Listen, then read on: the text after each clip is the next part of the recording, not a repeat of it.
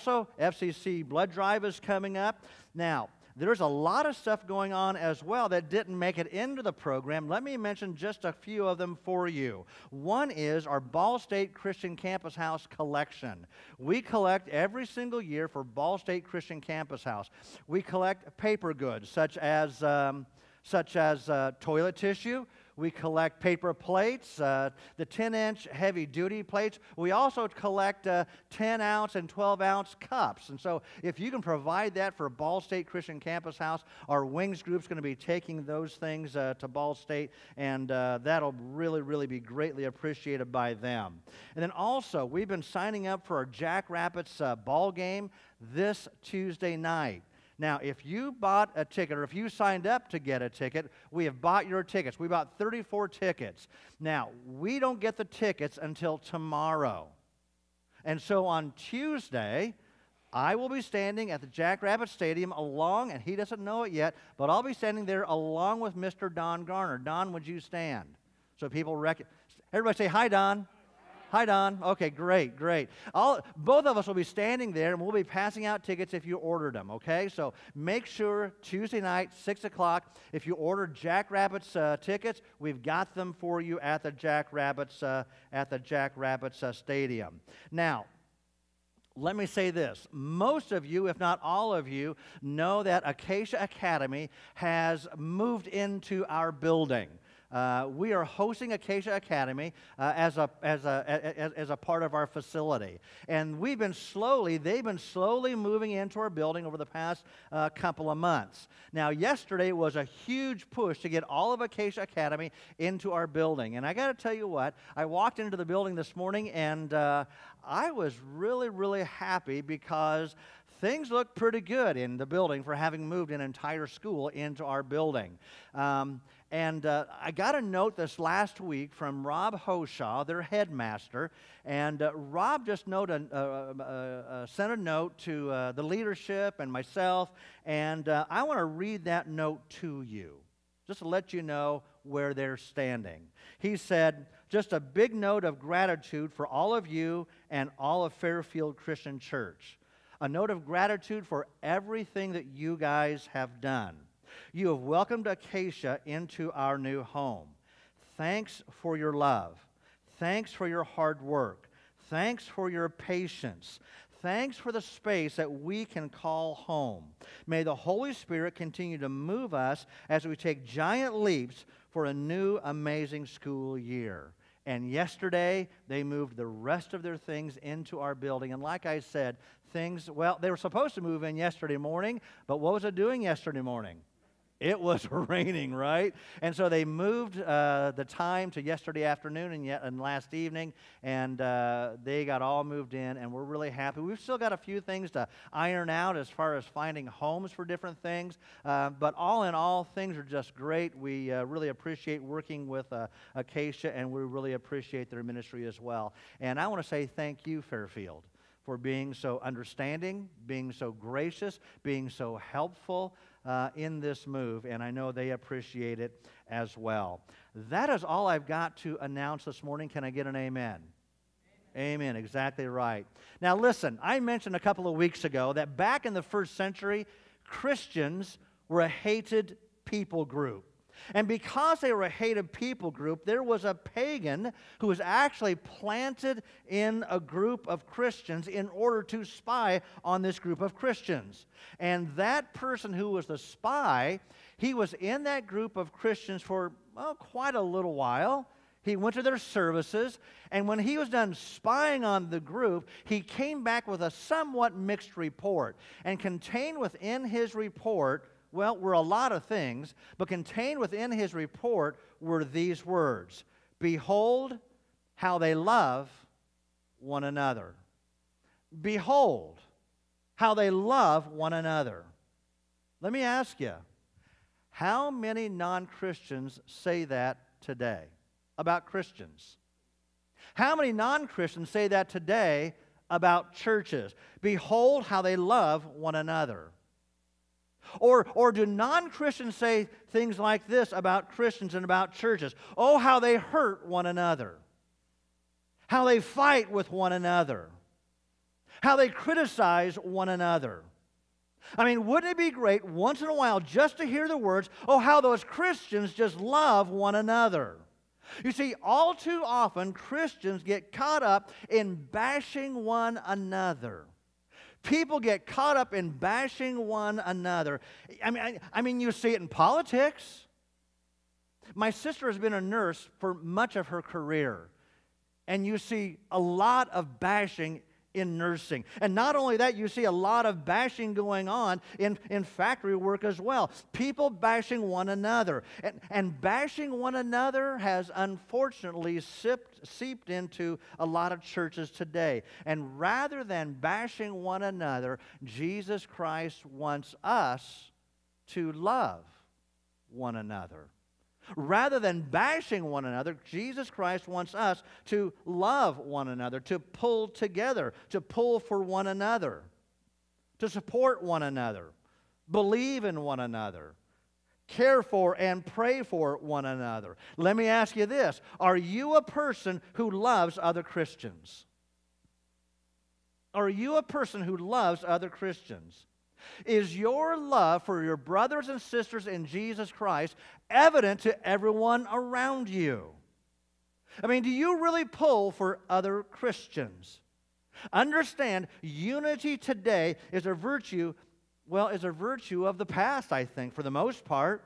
And, and speaking of unity, speaking of pulling together, Jesus said this to the disciples back in John chapter 13, beginning in verse 34. This is what Jesus said He said, A new command I give you love one another.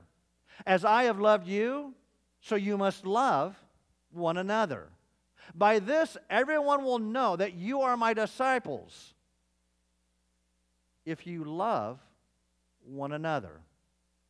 One of the principles of Bible study is that if you see a word or a phrase repeated often, you need to pay attention to that word or phrase. In these two verses, what phrase is repeated often? Love one another. In these two verses, Jesus said, Love one another three different times. If you want to make an impact on our culture today, our culture that's moving in the wrong direction, if you want to make an impact on our culture today, you need to love one another. By this, people will know that you are different. Now, you'll notice in these verses, Jesus didn't say, Love me, although that's very, very important. Jesus said, Love one another. And when you love one another, that speaks volumes to a, to, a, to a culture that's going in the wrong direction. It speaks volume to a lost world. I mean, I would love to see the day when Christians are so unified that nothing and no one can cause a problem in the church because the church is such a tight team. Nothing's going to cause a division, nothing's going to cause a ripple today, you can talk to any coach you want to talk to baseball, football, basketball, soccer, what, whatever the sport is. You talk to any coach, and they dread the day when the team turns against itself. Guys, if we just pull together, we may not win every game. But guys, if we just pull together, we'll have the time of our lives. Let's, let's work together, guys. Look at a couple of verses in John chapter 17. John chapter 17 records, I believe, the longest prayer in the Bible. In John chapter 17, Jesus is praying, and this is what he says in verses 20 and 21. Jesus prays these words I am praying not only for these disciples, his disciples, but also for all who ever believe in me through their message. I pray that they will all be one and this is Jesus praying. I pray that they'll all be one, just as you and I are one, as you are in me, Father, and I am in you. And I am in you. Jesus is saying in those verses, guess what? God, nothing and no one has ever broken our relationship. Never broken our relationship. And I pray, God, today that all believers will be one, a tightly knit group of people in love.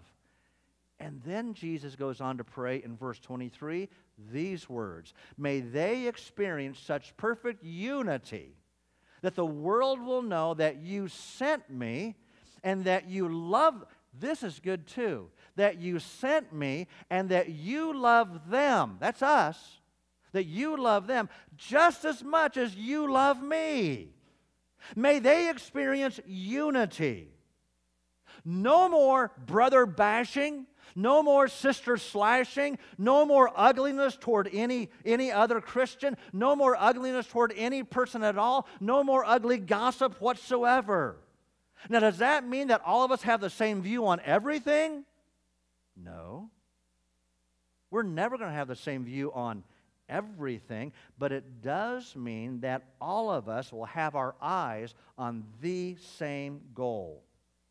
Our commitment will be at the same level. Our hearts are in the same place.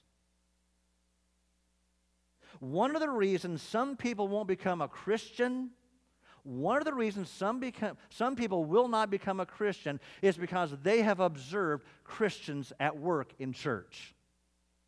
They've observed Christians fighting in church, criticizing in church, and you say, well, how do you know that? I've had non Christians tell me that. Oh, yeah, there's no way in the world I'm going to go to a church like that and become a Christian. There's no way in the world I'm going to, come, I'm going to become a Christian because I don't want to be a part of that kind of thing. They've told me as much.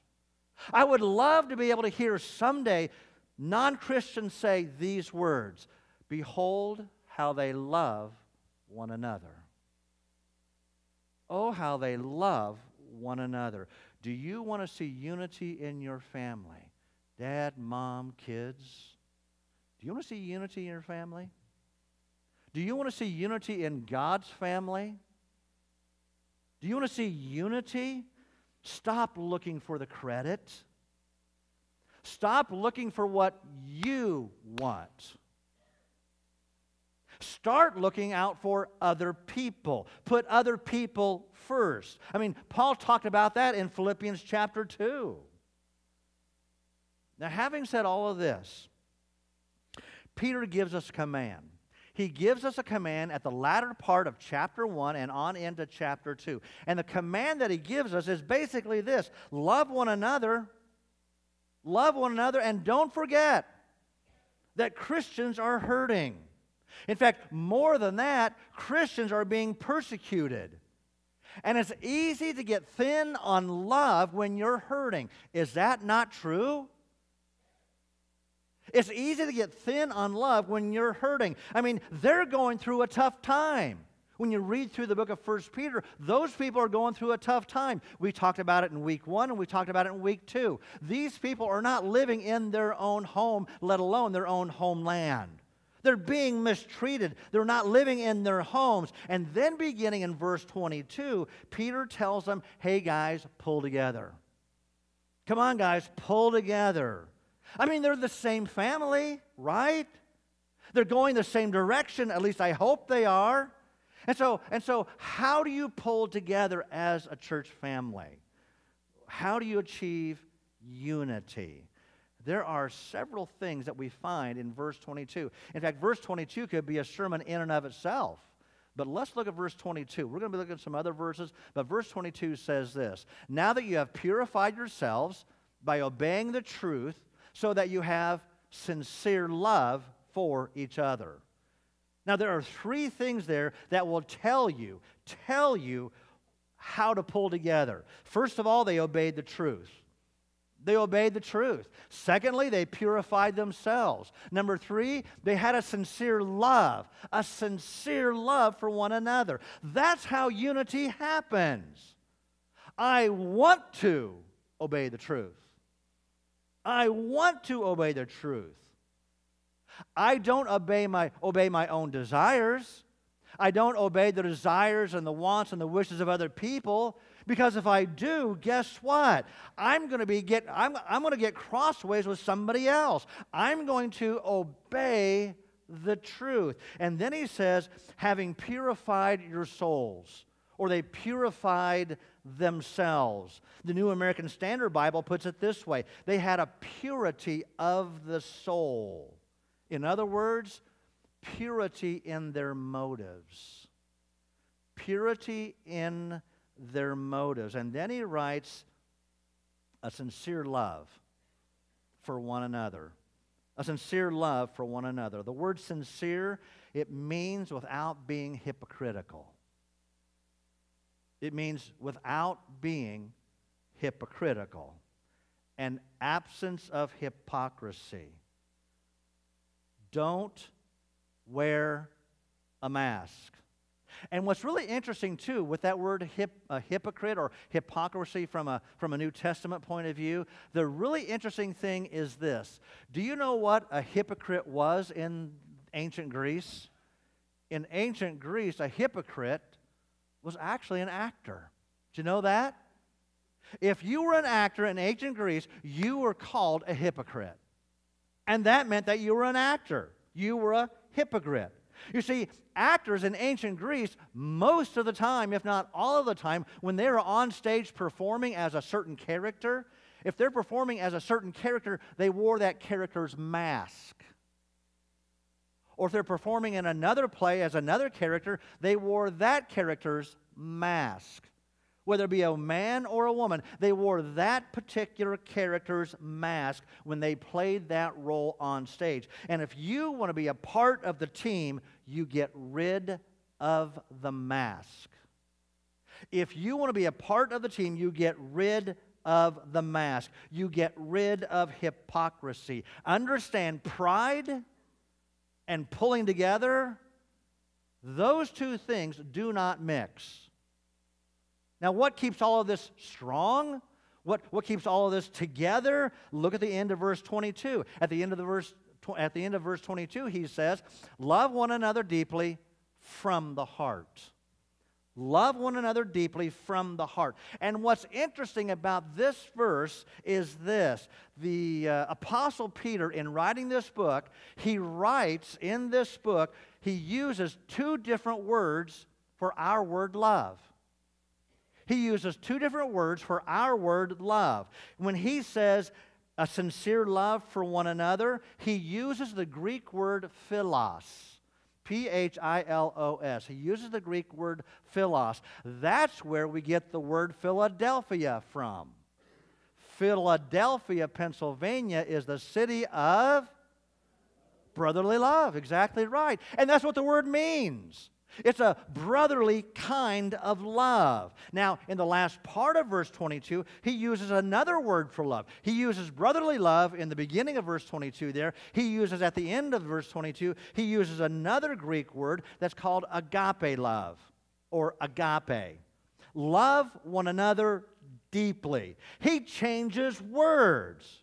You see, the agape love is a love from the heart for one another a love from the heart for one another. Agape love is sacrificial, agape love is patient. Agape love treats a brother and a sister in Jesus Christ, you treat them kindly. There's no room for envy. There's no room for jealousy. It's a kind of love, agape love is the kind of love that does not seek revenge. Does that sound at all, even remotely like 1 Corinthians chapter 13? Of course it does. Agape love. Let me ask you do you love other Christians like 1 Corinthians 13? Do you love other Christians like 1 Corinthians 13? And you may find that when you are snippy, when you are negative, when you are ugly towards other people, you may find that your heart just isn't right.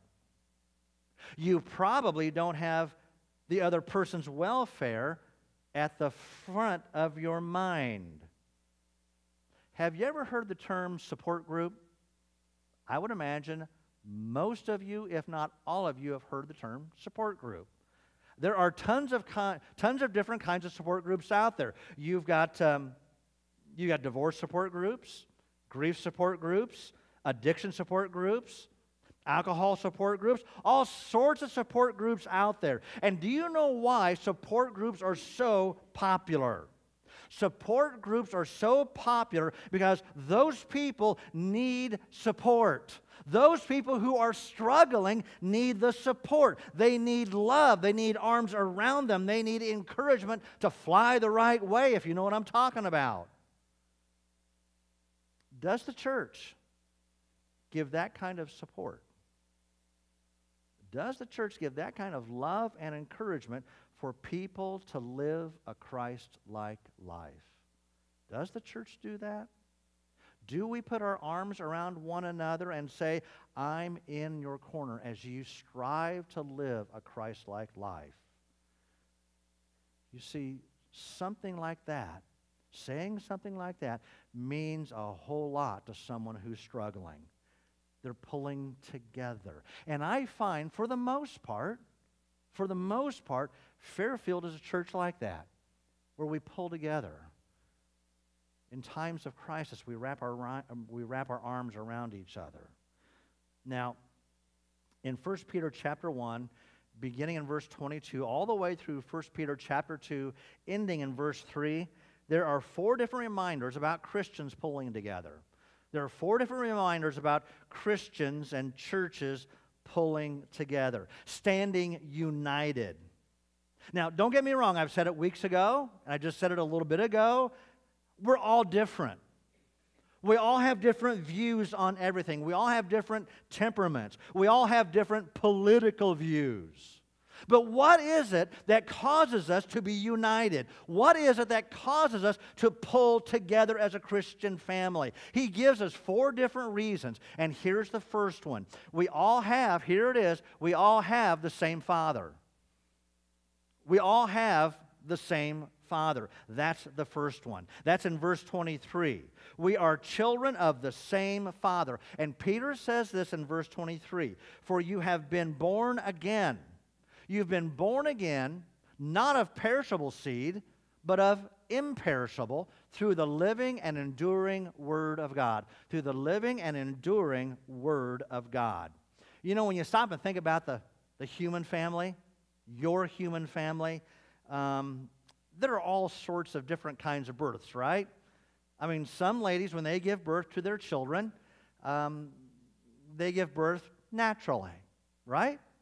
Some ladies, in fact, all three of my children, they were born by C section, cesarean section.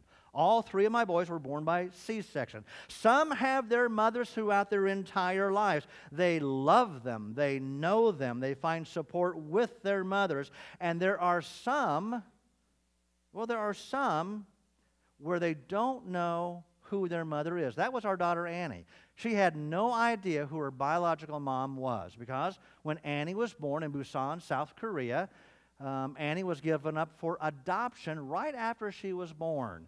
And Annie grew up from eight months on. Sandy was her mom. Sandy was her mom. Now, there are a lot of a lot of kids out there, a lot of people out there, they have no idea who their father is. I mean, I mean, there are there are some there are some whose moms gave birth to them with no anesthesia whatsoever. Some were born with a lot of anesthesia. My kids were born from a mother whose husband wanted a lot of anesthesia. I'm just saying.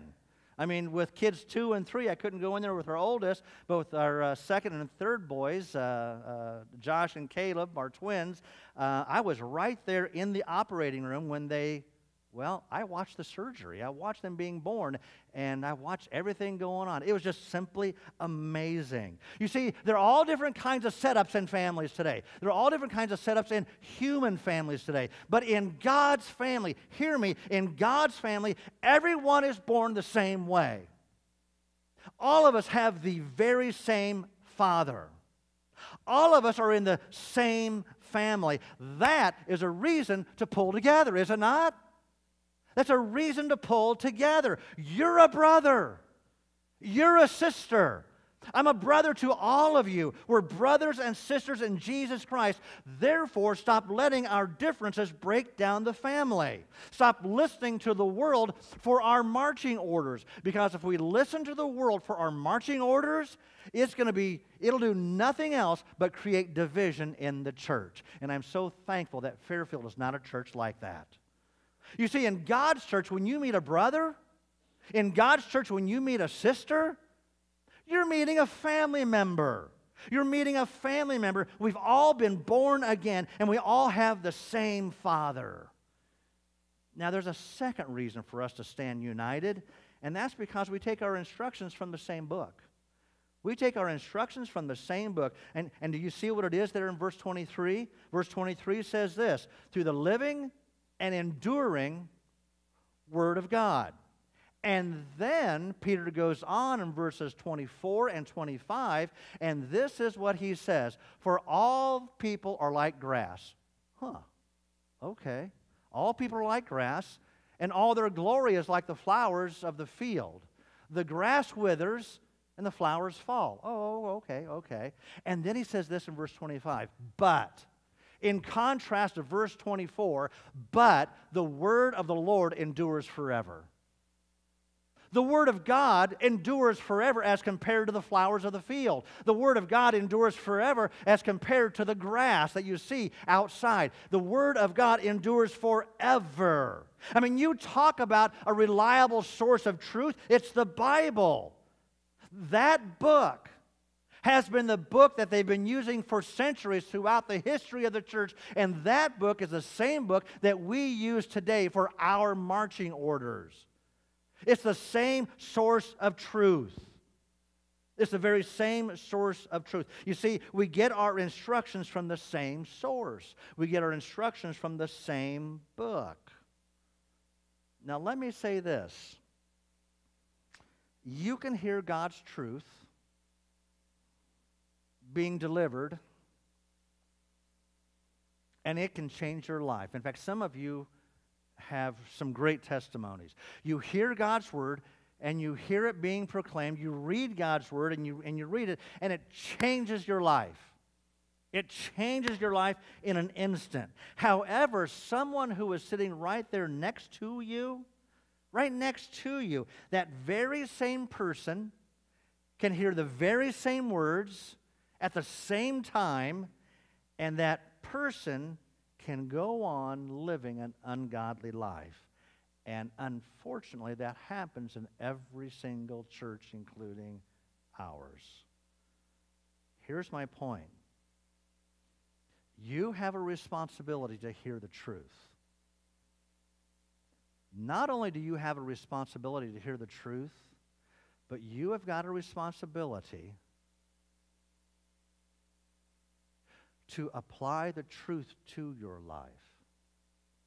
You have got a responsibility to apply the truth to your life.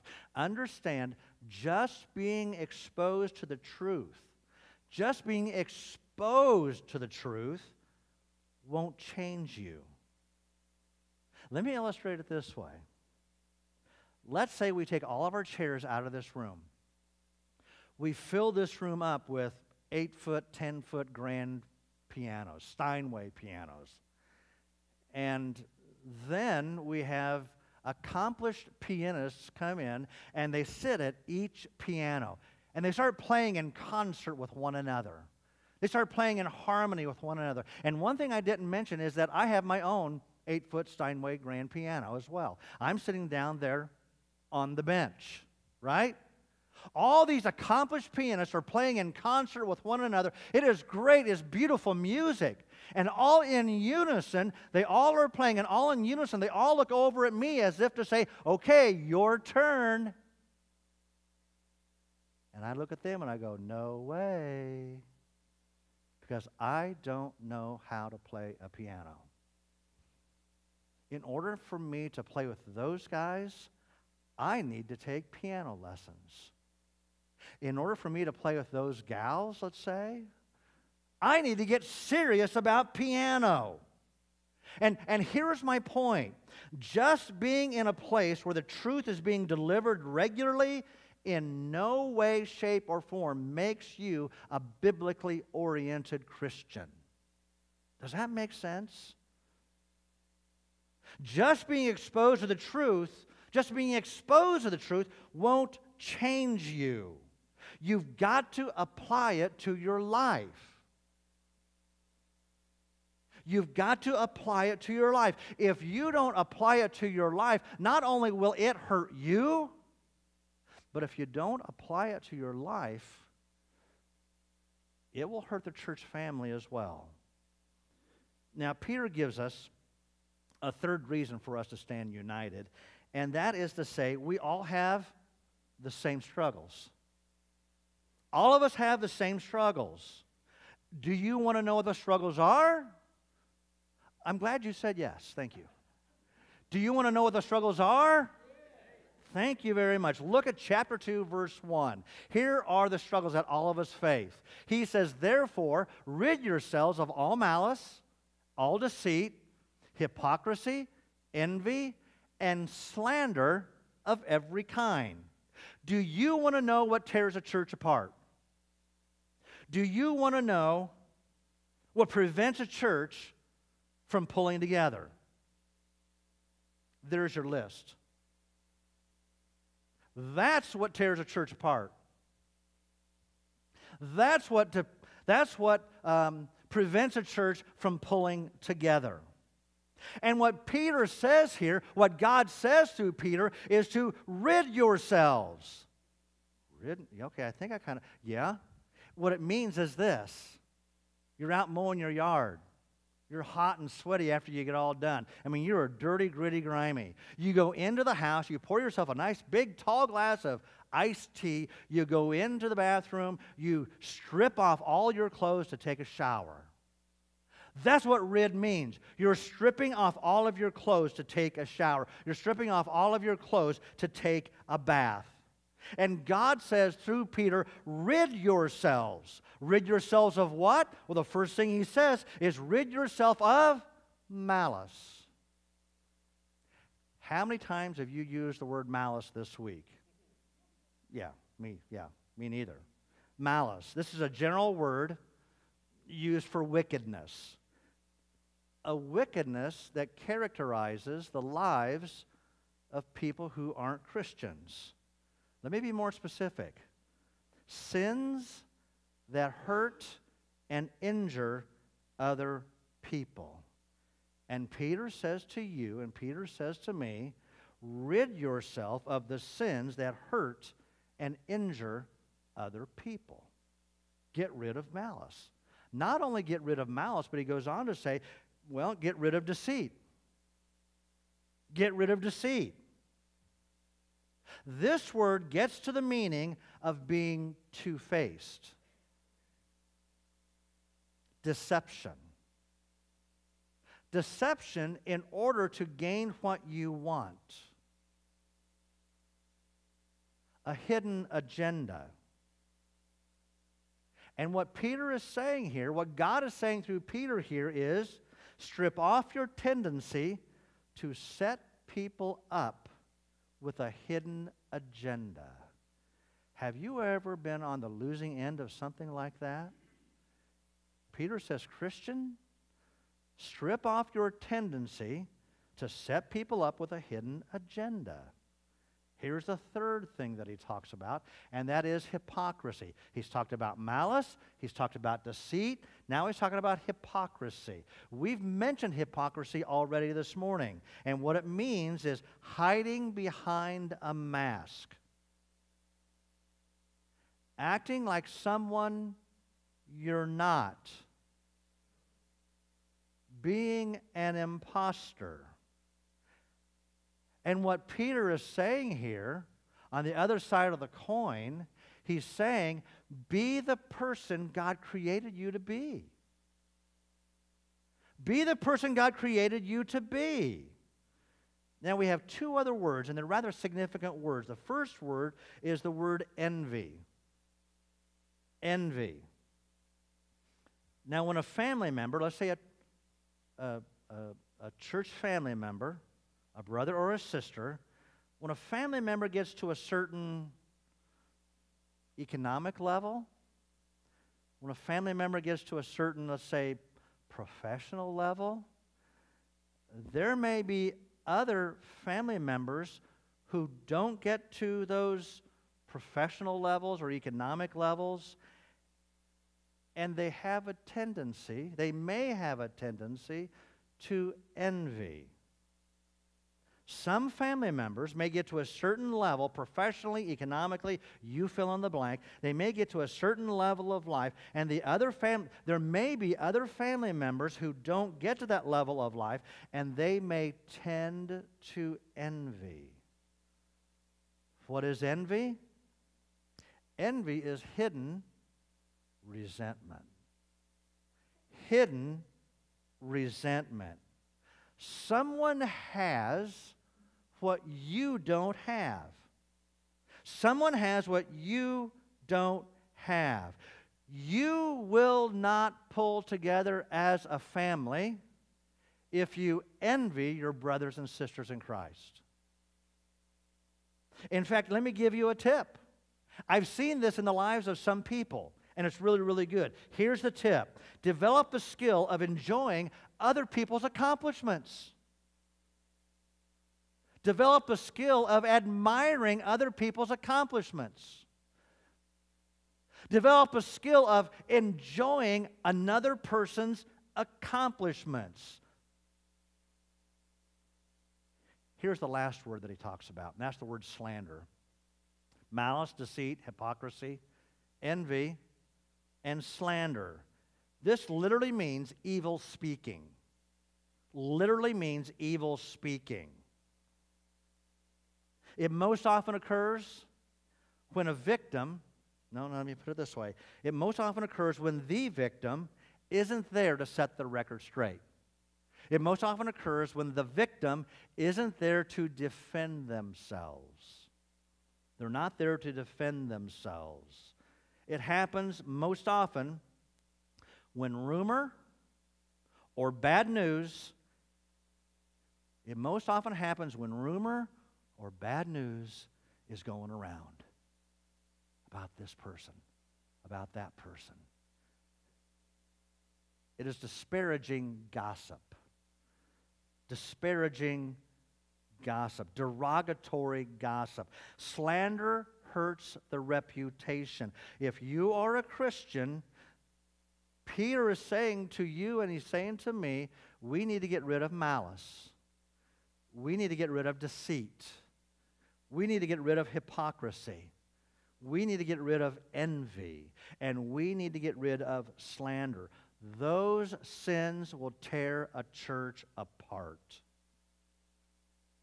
The church needs to stand united. The church needs to stand as one. Why in the world is that so important to Peter? Why is that so important to Jesus? Why is that so important in the Bible that the church stands together? It's important because the church is living in a world of Christians or of people who are not Christians. And we want to make an impact for Jesus Christ. If the church is fighting and fussing and gossiping, guess what? Non Christians don't want to be a part of that. And so, what we need to do is to pull together. Here's a fourth reason to pull together. A fourth reason, excuse me, to, uh, to stand united. And that is because, here it is, we have the same objective. We are focusing on the same objective. Check out 1 Peter chapter 2, beginning in verse 2. Like newborn babies, well, they crave pure spiritual milk. Newborn babies crave pure spiritual milk so that by it you may grow up in your salvation. Do you know what the objective of a Christian is? The objective of a Christian, he says it right here, the, object, the objective of a Christian is that you may grow up in your salvation, that you may grow, that you may mature in Jesus Christ, that you may grow up. That's our objective as, as followers of Jesus Christ. Now, let's go to the next verse, but I want to begin in verse 2. He says there that you may grow up in your salvation now that you have tasted that the Lord is good.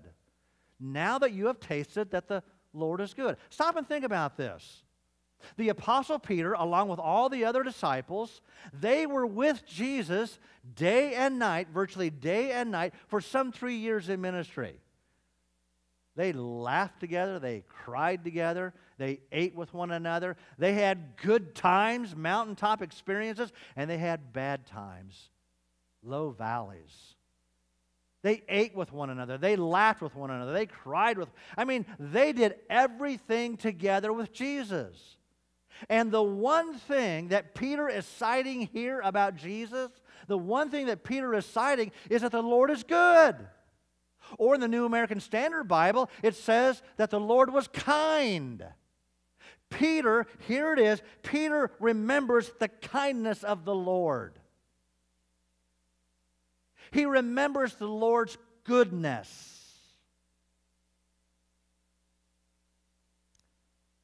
Let me ask you this What do people remember about you after they've talked with you? You're having a conversation with someone. Let's say you talk for 10, 15, 20 minutes. You just met that person. You two part ways. What does that person remember about you? What does that person remember about you? Oh, I just met that guy, and I got to tell you what, that guy was a goofball. Or, I just met that guy.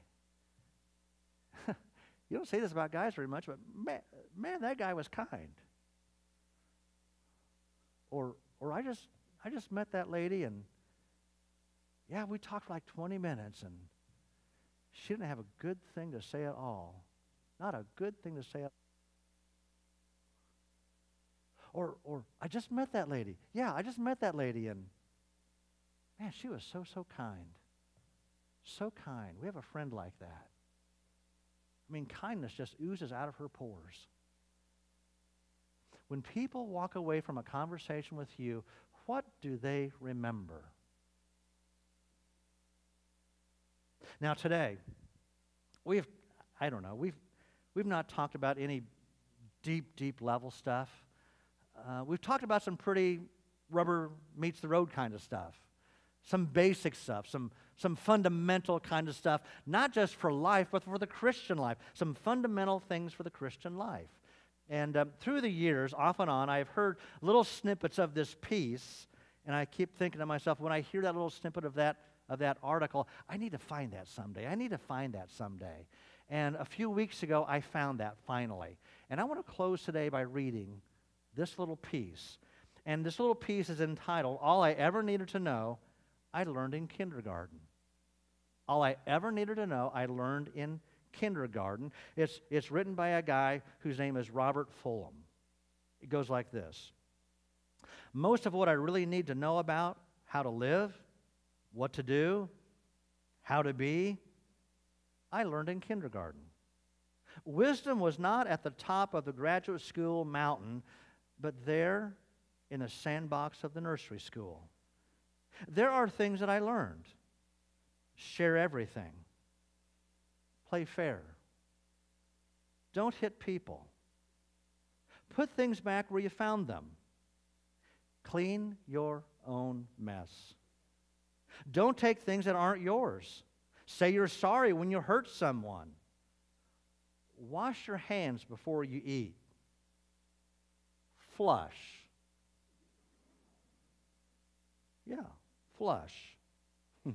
Here's another one. Warm cookies and cold milk are good for you. Can I get an amen? Amen. Learn some and think some and draw some and paint and sing and dance and play and work every day. Take a nap every afternoon.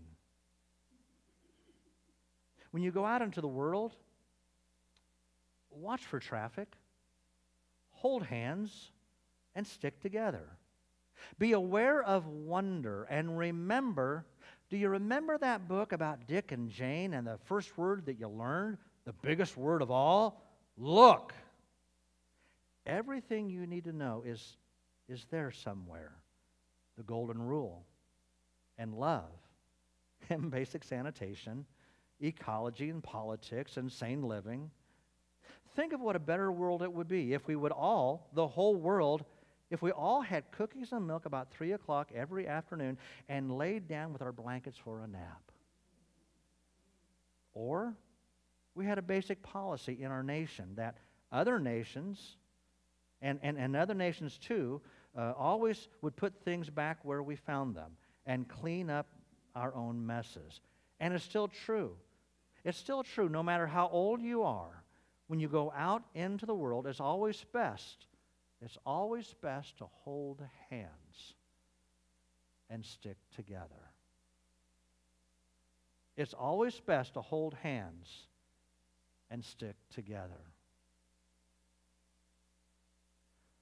For the family to make an impact for Jesus Christ in the world, for the family to make an impact in their world, it's always best for the dad and the mom and the kids. It's always best to hold hands and stick together. For the church, for the church to make an impact in their world, for the church to make an impact around the world, it's always best to hold hands and stick together. Do you want to make an impact for Jesus Christ in your world where you work? Do you want to make an impact for Jesus Christ in your neighborhood? Does Fairfield want to make an impact in our world, around the world, for Jesus Christ? Hold hands and stick together. And some of you might be saying, you know what, I really do need to do that. I want to be a part of that. I need Jesus Christ in my life. If you don't have Jesus Christ in your life, I tell you what, I would just love to talk to you. I really would. Um, Sean Flannery's here this morning. He'd love to talk to you. The wife Liza sitting right next to him. They would love to talk to you about Jesus. Kirk Wiley, he's up in the up in the crow's nest. Love to talk to you. Amanda, been playing the piano today. Love to talk to you about Jesus. I would too. So would my wife Sandy. If you want to be a part of the church, we'd love to talk to you about that as well. But we as a church, we as individual families in a church family, we need to hold hands and stick together for the glory of God. Let's bow our heads and pray, shall we? our Father in heaven, we're so grateful for the chance to get together. And God, um, we are so grateful that you have loved us to the point where we are your children. God, we don't deserve to be your children, but God, you have created us, and God, you have created a way that we might spend eternity with you. And God, I pray today that um, we would hold hands and stick together. Or to put it in biblical terms, we would love one another. That's what Jesus said in, in the book of John to, to love one another. And God, I pray that we would love each other, one another, through thick and thin, no matter what happens in our lives. But God will be there and will love one another. Father God, we pray these things in Jesus' name. Amen.